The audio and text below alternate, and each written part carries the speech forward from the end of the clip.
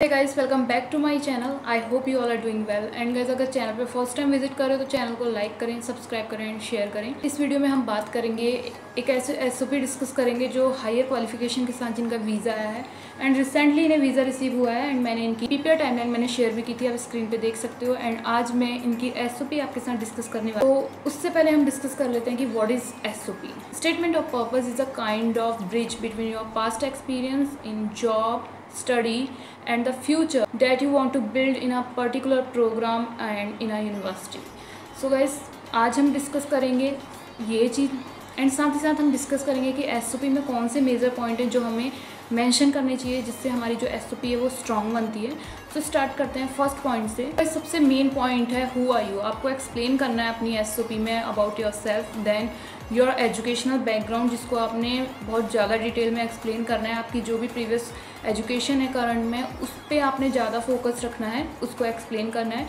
And third point है, अगर आपका कोई रेलिवेंट जॉब एक्सपीरियंस है प्लीज़ आप उसको भी मैंशन करें why this course and guys आपके पास कोर्स से रिलेटेड इन्फॉर्मेशन होनी चाहिए, जिससे कि आप वीज़ा ऑफिसर को बता सकें कि आप इस पर्टिकुलर प्रोग्राम को चूज़ करके आपके फ्यूचर में आपके ये करियर गोल हैं।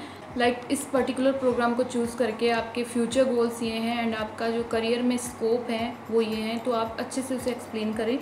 एंड द थर्ड है why this college and university so guys in this section you have to show some research about the university and you have to show that you are really interested in that particular university.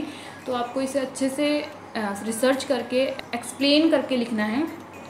And जो next point है कि why Canada why not India and visa officer ये जानना ज़रूर चाहेगा कि ये program जो आप इंडिया में कर सकते थे, वो आप कनाडा में ही क्यों करना चाहते हो? इस चीज़ का एक्सप्लेनेशन भी आपको ज़रूर देना है अपनी एसओपी में। एंड जो गाइज़ सबसे इंपॉर्टेंट चीज़ है what are the future goals after completion of this program so guys आपको अपने फ्यूचर में इस प्रोग्राम को करने के बाद ग्रोथ शो करनी है इंडिया में।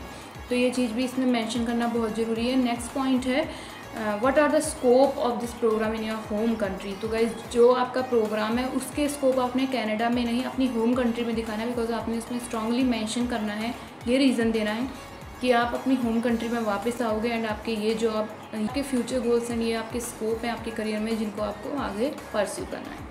एंड द नेक्स्ट पॉइंट है कि how this program will fulfil your needs and interest कि जो आपका इंटरेस्ट है जिस फ़ील्ड में आपका इंटरेस्ट है वो प्रोग्राम ये जो प्रोग्राम आप चूज़ कर रहे हो वो उस इंटरेस्ट को उन नीड्स को फुलफिल करता है या नहीं करता है? एंड देन नेक्स्ट पॉइंट है your expectation about the program so guys जब भी हम कोई प्रोग्राम चूज़ करते हैं तो हमारी एक्सपेक्टेशंस होती हैं।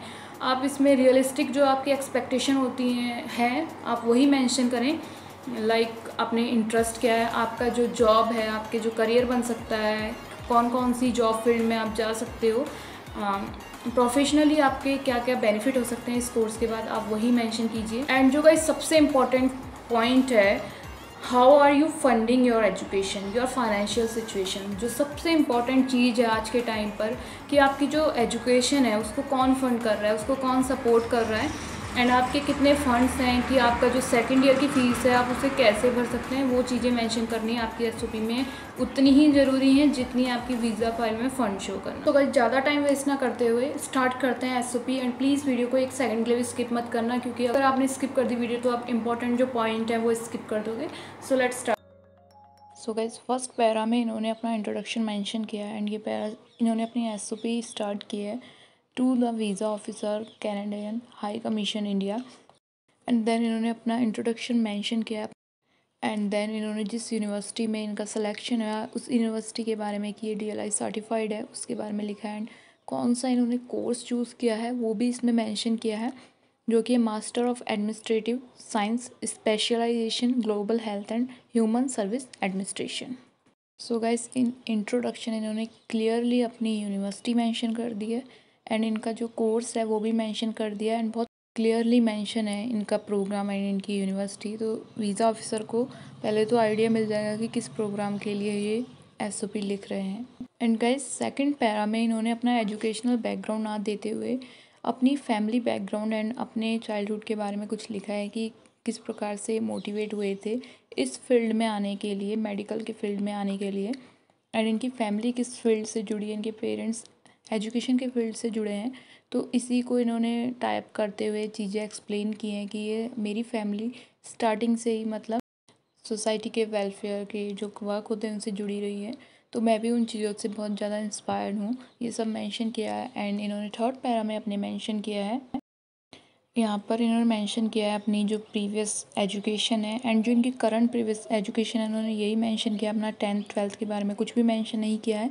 एंड मैं भी आपको रिकमेंड करूँगी जो आपकी करंट एजुकेशन है आप वही मैंशन करें। सो so, इन्होंने करंट में अपनी जो एजुकेशन की है वो चाइना में की है एमबीबीएस उसके बारे में मेंशन किया है।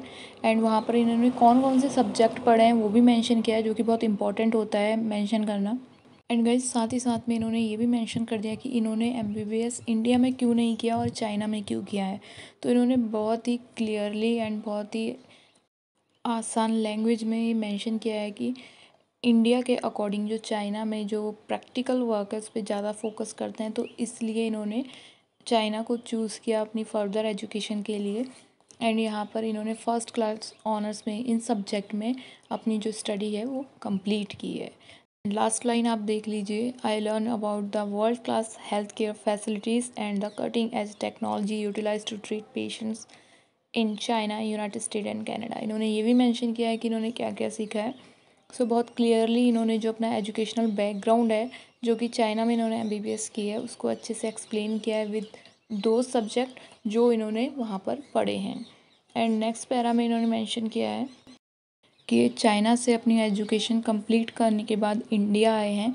देन इन्होंने बहुत सर्च किया है कि कौन से स्पेशलाइज्ड फ़ील्ड में ये अपनी जो एजुकेशन है वो आगे फर्दर परस्यू करें एंड इन्होंने बहुत सारे जो ब्रांचेज़ हैं, जो कि इन्होंने मेंशन किए हैं, जिससे इनकी जो रिसर्च है, वो शो हो रही है क्लियरली कि इन्होंने बहुत सारी रिसर्च की है अपनी, जो फर्दर एजुकेशन है, जो कि एक पर्टिकुलर फ़ील्ड में इन्होंने परस्यू करनी है, वो शो की है। एंड इसमें आगे इन्होंने लिखा है कि इन्होंने इंडिया में ही एक हॉस्पिटल में, वहाँ पर इन्होंने अपना वन ईयर की इंटर्नशिप है जो कंप्लीट की है। एंड उस इंटर्नशिप के दौरान उन्होंने क्या क्या चीज़ें सीखी हैं? वो इन्होंने बहुत क्लियरली मेंशन किया है। पढ़ सकते हो क्योंकि मैं पूरा तो पढ़ूँगी नहीं। आप पढ़ सकते हो, इन्होंने क्लियरली मेंशन किया है। और इस फ़ील्ड में इन्हें काम करते हुए ये रियलाइज़ हुआ कि कि ये चीज़ें इनको हेल्प करेंगी मैनेजमेंट एंड कम्युनिकेशन जो इनकी स्किल्स हैं, उनको इम्प्रूव करने में। साथ ही इनको रियलाइज़ हुआ कि जो बेटर मेडिकल पॉलिसीज़ हैं, वो पेशेंट्स के लिए बननी चाहिए, जो कि इनको हेल्प करेगी। एंड देन इससे नेक्स्ट पैरा में इन्होंने और क्लियरली मेंशन किया है कि देन इन्होंने इंटर्नशिप के दौरान एक जो स्पेशलाइज्ड फ़ील्ड है, उसमें काम किया है। इसके साथ साथ इन्हें रियलाइज़ हुआ कि जो बहुत सारी डेथ होती हैं, वो सिर्फ़ मेडिकल केयर की वजह से नहीं होती, देरी की वजह से नहीं होती, बल्कि इन वजह से होती है कि डिले होता है। इमरजेंसी केयर में जो फैसिलिटीज़ होती हैं, वो प्रोवाइड नहीं हो पाती हैं उस वजह से। एंड देन नेक्स्ट पैरा में इन्होंने मेंशन किया है कि जो इनका इंक्लिनेशन था, इस प्रोग्राम को चूज़ करने का वो क्या था? कि इनको, इन्होंने देखा कि इंडिया में जो इनकी होम कंट्री है, जहाँ पर ये ट्रेनिंग प्रैक्टिशनर हैं, वहाँ पर कौन सी जो प्रॉब्लम है वो फेस करते हैं, आए दिन जो वहाँ के लोग हैं, अपने ट्रीटमेंट में एंड इनकी जो एजुकेशन है, जो ये करना चाहते हैं पब्लिक हेल्थ में, वो कैसे इनको हेल्प कर सकती to deliver a meaningful health solution for the community at large and guys इन्होंने क्लियरली ये मेंशन किया है एंड नेक्स्ट है इन्होंने कनाडा क्यों चूज़ किया है वो इन्होंने मेंशन किया है मैं पढ़ के बता देती हूँ। I choose to go Canada for my graduate study given that is offer academic excellence ample research opportunities cultural diversity safety and a peaceful work environment and आगे इन्होंने कनाडा के लोगों के बारे में मेंशन किया है कि वो बहुत वार्म हार्टेड होते हैं। सो so, ये चीज़ें गाइज़ आप कहीं से भी लिख सकते हो बट आप अपने मन से लिखो। क्योंकि ये बहुत कॉपी पेस्ट टाइप चीज़ें लगती हैं जब आप कहीं से लिखते हो। देन इन्होंने अपनी यूनिवर्सिटी के बारे में मेंशन किया है। यूनिवर्सिटी के बारे में लिखा है has one of the highest rank administrative science graduate program in Canada so guys ये एडमिनिस्ट्रेशन के फ़ील्ड में जा रहे हैं तो इन्होंने उसके बारे में ही इसमें इसे प्रेज़ किया है। In that I intend to learn from the best and aspire to challenge myself to venture out of my comfort zone so guys इन्होंने बहुत क्लियरली मेंशन किया है कि इन्होंने यूनिवर्सिटी के बारे में कुछ रिसर्च की है जो कि इनकी राइटिंग में दिखती भी है। एंड नेक्स्ट पैरा में इन्होंने मेंशन किया है इनके करियर गोल्स इस प्रोग्राम को करने के बाद है। Through the studies I have multiple option of making a career in health care policies making public health sector social work and much more My undergraduate program taught me the basic of disease prevention, treat and patients rehabilitation, which hold me a good stead for the future. And so guys इन्होंने clearly अपने जो future में यहाँ पे career goal है mention किया है।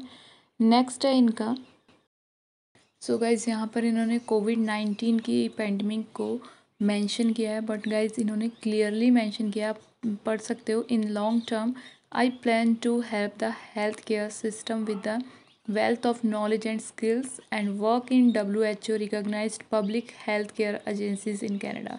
So guys इन्होंने क्लियरली मेंशन किया कि कनाडा की एक जो highly recognised public health care agency है, उसमें काम करेंगे सो गाइज़ इन्होंने ये इसलिए मेंशन किया है कि जो कनाडा में सबसे ज़्यादा जो डिमांड होती है, वो हेल्थ केयर स्पेशलिस्ट जो होते हैं या डॉक्टर होते हैं, इनकी होती है मेडिकल के फ़ील्ड में तो इन्होंने क्लियरली मेंशन किया, इन्होंने यहाँ पे बिल्कुल भी मेंशन नहीं किया है कि ये इंडिया में करेंगे। नेक्स्ट पैरा में इन्होंने अपने जो फाइनेंशियल हैं, जो इन्होंने मेंशन किया है, उन्हें क्लियरली इसमें एक्सप्लेन किया है। I am grateful that I can support myself financially to take up this course and fund living expenses I am aware of the total study expense of the course I have already secured a loan of around thirteen thousand U S D which will easily cover my first year tuition fees and also इन्होंने G आई सी पे की है वो भी इन्होंने mention की है and guys last में इन्होंने लिखा है I thank you for your time reading my application if any document apart from those submitted are found necessary I shall submit them upon request. I kindly request you to humbly process my application. I am looking forward to a positive response. Yours sincerely.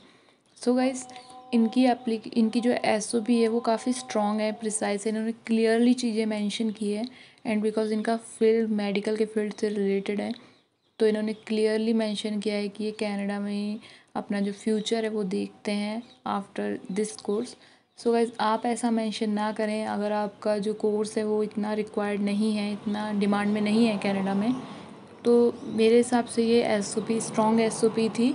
And please इस SOP को आप copy करने की कोशिश ना करें। So if you find this video useful like subscribe and share my channel